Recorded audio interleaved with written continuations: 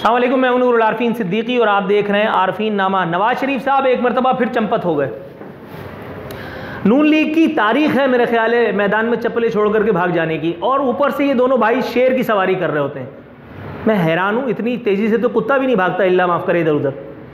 یہ کس قسم کا شیر ہے کہ جو ہر مرتبہ فوج کو سامنے دیکھ کر کے بھاگ جاتا ہے؟ یہ وہ پارٹی ہے کہ جس نے پاکستانی افواج کی الحمدللہ دیگر سیاسی جماعتوں کی طرح مطلب کہنے میں کیا قباحت ہے؟ پاکستانی افواج کی گملے میں پرورش پائی، اس کے بعد پھر ان کو پاکستانی افواج سے اتنی چڑ ہوئی کہ انہوں نے ان کے لیے لفظ اختیار کیا خلائی مخلوق کا۔ اس کے بعد جو جھوٹ انہوں نے بولنا شروع کیا، وہ کہا تھا کہ ووٹ کو عزت دو۔ دونوں بھائیوں نے قوم کو بڑی مشکل سے آمادہ کیا کہ ووٹ کو عزت دی جائے۔ ہزاروں لاکھوں لوگوں کو لے کر کے بلا وجہ جی ٹی روڈ پہ خوار کیا۔ ایک بچے کو بیچارے کو اپنی گاڑی کی تلے روندا۔ ظاہر ہے کہ جب تک لاشیں نہ گریں تب تک سیاست کو کب بڑھاوا ملتا ہے۔ اس کے بعد اچانک کسی ایک شب میں دونوں بھائی ووٹ کو عزت دیتے دیتے نوٹ کو عزت دے گئے ہر مرتبہ کی طرح۔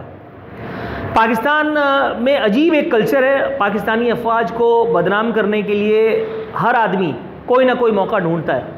مجھے یاد نہیں پڑتا کہ میں نے کبھی کسی نون لیگ کے رہنما سے آف دا ریکارڈ گفتگو میں بھی پاکستانی افواج کے حوالے سے کبھی کوئی اچھا جملہ سنا ہو۔ کارگل میں ہونے والی جو بھارتی مڈ بیڑ تھی، جو جل مشرف کے زمانے میں تھی، اس کے حوالے سے ہی اگر نون لیگ والوں کے قلوب کو کھول کر کے دیکھ لیے جائے، تو میرے خیال ہے جتنا اللہ، معاذ اللہ، تو بستغفار گند بھرا ہے، وہ شاید اس کا اظہار بھی کرتے ہوئے کترائیں گے۔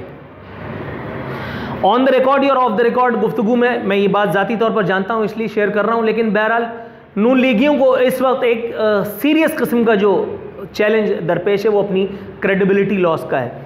گو کہ ان کے رہنما، ان کے زوما باوجود دن رات کی کوشش کے عوام کا اعتماد بحال تو نہیں کر پا رہے، لیکن بہرحال ان عوام سے بھی مجھے کوئی خاص خوش فہمی ہے نہیں۔ پچھلی مرتبہ بھی جب نواز شریف صاحب میدان سے فرار ہوئے تھے، تو یہی عوام تھے۔ جو جنرل مشرف کے دور میں ان کو خوش آمدید کہنے کے لیے جوک در جوک ایک دوسرے پر چڑھ کر کے گرتے ہوئے روڈوں پر نظر آ رہے تھے۔ ایک مرتبہ پھر وقت نے پلٹا کھایا ہے۔ نواز شریف صاحب اپنے پلیٹلیٹ کا بہانہ کر کے اور ملک سے چمپت ہو گئے۔ ظاہر ہے کہ یہ پاکستان کی تاریخ کا پہلا این آر او ہے جو عمران خان صاحب کے کندھے پہ رکھ کر کے دیا گیا ہے۔ دینے والے کون ہیں؟ یہ بھی سب جانتے ہیں۔ مطلب اس کو کہنے میں اور چھپانے میں کوئی مجھے نہیں لگتا، ضرورت بھی ہے۔ پاکستان میں این آر او کون دیتا ہے اور این آر او کون لیتا ہے، یہ سب جانے جانا کرتے ہیں۔ لیکن ہمیشہ ایک کور اپ جو ہے وہ تیار کیا جاتا ہے۔ اور وہ بھی اس غریب، ایک عام آدمی کے لیے، جس کے پاس کھانے کے لیے دو وقت کی روٹی تو نہیں ہے، تاہم وہ جذبات کا ایک ابلتا ہوا، صحرا ابلتا ہوا سمندر، رادر، ہمیشہ بنا رہتا ہے اور ہمیشہ اسے ایکسپلوئٹ کیا جاتا ہے۔ بھٹو صاحب کو جو بتایا جاتا ہے کہ وہ قائد عوام تھے، ڈیڈی ڈیڈی کر کے وہ بھی بیچارے ایوب کے گھٹنے دبا کر کے اور سیاست میں آئے، اس کے بعد قائد عوام بن گئے، قائد انقلاب بن گئے۔ آج ان کی پارٹی جسے کشمکش میں زرداری صاحب کو جو این آر او دیا گیا ہے، اس کے بعد پھر بلاول صاحب جو ہیں وہ عمرہ کرنے چلے گئے۔ ظاہر ہے کہ جب انہوں نے دیکھا کہ معاملات قابو میں تو وہ عمرہ کرنے چلے گئے۔ اللہ قبول، منظور فرمائے۔ حالانکہ چانسز کم ہے کیونکہ آپ کو اللہ تعالیٰ نے یہاں صوبے میں کام دیا ہے، بہت سارا کام دیا ہے۔ لیکن وہ کام آپ سے ہو نہیں رہا۔ کتے پبلک کے پیچھے دوڑ رہے ہیں۔ پبلک جو ہے وہ لیڈروں کے پیچھے دوڑ رہی ہے اور لیڈر جو ہے وہ نوٹ کے پیچھے دوڑ رہا ہے۔ اور نوٹ کون اڑا رہا ہے وہ سب جانتے ہیں۔ نوٹ کو عزت دیتے دیتے ہمارے لوگوں نے اتنا اپنے آپ کو بے عزت کر لیا کہ اب انہیں اس تصویر کی اشاعت سے بھی کوئی باقاعدہ طور پر فرق نہیں پڑتا، جس میں نواز شریف صاحب سری پائے کھینچتے نظر آ رہے ہیں۔ دلی سے منگوائے گئے میرے خیال ہے یہ پائے پلیٹلیٹس کی تعداد میں خاصا اضافہ کر سکے تھے۔ لیکن اس کے باوجود بھی صاحبزادے جو تھے، جن کا نام اس وقت میرے ذہن میں نہیں آ رہا، وہ یہ بتانے پہ مصر ہے کہ اس پلیٹ کے این بالکل سامنے، اسرائیل علیہ السلام اپنی پوری فوج کے ساتھ ابا جی کا جنازہ لے جانے کے لیے تیار تھے۔ وہ تو ہم نے رو پیٹ کے کسی طرح بچا لیا۔ ان کو یہ بتایا کہ چونکہ پاکستانی فوج کے ہم منظور نظر ہیں، ان سے ہم بھاگ کر کے، ان کی اجازت سے چھپ کر کے آئیں تب جا کر کے کہیں ملک الموت مانے۔ گو کہ ملک الموت گویا اگر کسی ڈرتے ہیں تو شاید پاکستانی فوج ہے۔ حالانکہ یہ ایک عجیب سی بات ہے۔ لیکن پاکستانی سیاست میں پہلے بہت ساری اور باتیں عجیب سے رہی ہیں۔ ضیاء کا جو ہے وہ صدر بن جانا، خود ہی اپنے آپ کو ایکسٹینشن دیتے چلے جانا۔ اس کے بعد پھر بے نظیر بھٹو کا ظاہر ہے کہ وزارت عظمہ کے عہدے پر پائز ہونا فاروق لغاری کو لانا، فاروق لغاری کا خود ان کی وکٹ لے لینا، پھر الطاف بھائی کا کراچی والوں کے ساتھ وہ سب کچھ کرنا، جو اس وقت، اس سے پہلے، تھوڑی دیر پہلے ہم ڈسکس کر چکے ہیں، مزید ڈیٹیل میں جانا، بور ہونے کے سوا اور کچھ بھی نہیں۔ پھر کراچی کے مہاجر عوام کا عمران خان کو کریڈٹ دینا، عمران خان کو مینڈیٹ دینا، حالانکہ مینڈیٹ ان کو جس نے دیا وہ سب جانتے ہیں۔ کتنے دنوں کا وہ مینڈیٹ محتاج ہے وہ بھی سب جانتے ہیں۔ قاف لیگ سے زیادہ برا اشر میرا خیال ہے پاکستان تحریک انصاف کا اور اور یہ کوئی میں انکشاف نہیں کر رہا ہوں، یہ خود پی ٹی آئی کے لوگ بھی۔ میرے پروگرامز میں جو آن اینڈ آف آئیں یا نہ آئیں، لیکن بہرحال اس حوالے سے مجھ سے رابطے میں رہتے ہیں۔ پاکستان تحریک انصاف نامی ایک سو کال حکومت ہم پر مسلط ہے۔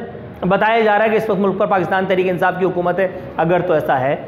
جب تک یہ حکومت رہے گی، اس وقت تک کا تو پتہ نہیں، لیکن عمران خان صاحب ہیں کہ تلے ہوئے ہیں، وہ باز نہیں آ رہے۔ وہ باز نہیں آ رہے، وہ کہہ رہے ہیں کہ آپ نے گھبرانا نہیں۔ اب میں یہ سوچ رہا ہوں کہ ہماری دموں پر پیر رکھ کر کے اور زور زور سے کچل رہے ہیں اور کہہ رہے ہیں گھبرانا نہیں۔ حضور، یہ کس قسم کی سنگدلی ہے؟ یا تو پیر ہٹائیں یا تو گھبرا لینے دیں۔ At the very same time یہ دونوں کام ہم کر کیسے سکتے ہیں؟ اوپر سے فضل الرحمان صاحب نے ایک مرتبہ پھر اپنے ہونے کا ثبوت دیتے ہوئے یہ کہا ہے کہ میں ایک مرتبہ پھر آ رہا ہوں۔ لو۔ پہلے جن کے کہنے پہ آپ آئے تھے، اس کے بعد آپ کو کیا مل گیا تھا؟ ماں سوائے ایک اور ذلت و رسوائی کے بوجھ کے، اس مرتبہ بھی آپ یہی سب کچھ کر کے اور ٹائم پاس کر کے چلے جائیں گے۔ جب تک عمران خان کو رکھنا مقصود ہے، عمران خان ہے، تو اس وقت تک آپ بھی کمپرومائز کر لیں۔ رہ گئی یہ پبلک تو پبلک تو ہمیشہ سے اللہ کا شکر دیوانی تھی۔ اس کا کام ہمیشہ لائن میں لگ کر کے جوتے کھانا تھا۔ اور پبلک اللہ کا شکر ہے سمہ الحمدللہ آج بھی اپنے اس فرض منصبی کو پوری جس کو کہتے ہیں، کشاکش کے ساتھ، پوری جانفشانی کے ساتھ ادا کر تو رہی ہے۔ پھر آپ کو کیا اعتراض ہے؟ پھر آپ کو کیا اعتراض ہے؟ عمران خان صاحب، لیکن چونکہ آکسفورڈ گریجویٹ ہیں، اللہ نظر بس سے بچائے، اللہ ان کی ڈگری کو تو ہم وقت کی ہر گردش سے محفوظ رکھے۔ وہ کہتے ہیں کہ کسی پرائی جنگ کا حصہ نہیں بنیں گے۔ حضور، ظاہر ہے، جو جنگ آپ نے عوام کے ساتھ یہاں چھیڑ رکھی ہے ایک وقت میں، اس جنگ کے بعد پھر کوئی دوسری جنگ آپ کیسے افورڈ کر سکتے ہیں؟ پہلے اس جنگ سے تو نمٹ لیں۔ مجھے نہیں لگتا کہ آپ کے اقتدار سے رخصت ہوتے ہوتے تک اس ملک میں کچھ اور بچے گا، ماں سوائے دو چار درختوں کے یا پھر خود صرف آپ کے ایک دو وزراء کے۔ اللہ تعالیٰ سے دعا پروردگار، یہ ٹائم جس طرح سے بھی ہے، لیکن بہرحال کٹوا دے تاہم، لگتا نہیں کہ یہ سودا اس مرتبہ پٹے گا۔ دیکھتے ہیں، فی امان اللہ۔